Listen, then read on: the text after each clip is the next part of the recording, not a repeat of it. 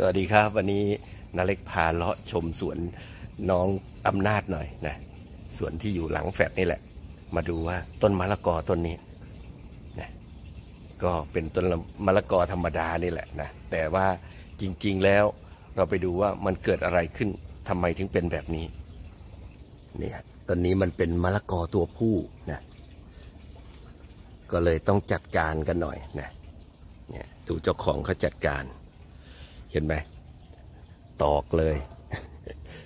ใช้ไม้ใช้ลิ่มตอกผ่ากลางเลย คือทำให้มันตกใจนะตอนแรกเขาก็ทำตรงนี้แต่ไม่ได้ผลนะเนี่ยตอกผ่ากลางขึ้นมาอีกนะก็มาตอกผ่ากลางตรงกลางอีกเนี่ยตรงกลางลำต้นเลย จนทำให้ต้นนี้เหมือนกับไม่ไหวอะเหี่ยวไปเลย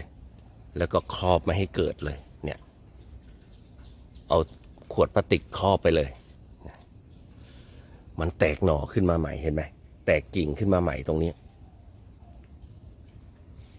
ปรากฏว่าแตกกิ่งออกมาก็ยังดอกเหมือนเดิมนะดอกเป็นเเหมือนดอกตัวผู้เหมือนเดิมนะแต่ว่าสิ่งที่ผิดไปก็คือเฮ้ยมันเกิดลูกมันติดลูก เห็นไหมฮะนี่การแก้ปัญหาว่ามะละกอตัวผู้ต้องเจอแบบนี้นะสูตรเด็ดแบบนี้นะนะก็ใครที่มีปัญหาเรื่องมะละกอเป็นมะละกอตัวผู้นะ่ะลองเอาไปใช้ดูนะเผื่อว่าจะได้ผลนะเนี่ยเห็นไหมฮะไม่ธรรมดาลูกดกซะด้วย สำหรับคลิปนี้นะเลยก็เก็บมาฝากกัน เพียงเท่านี้ก็ผม สวัสดีครับ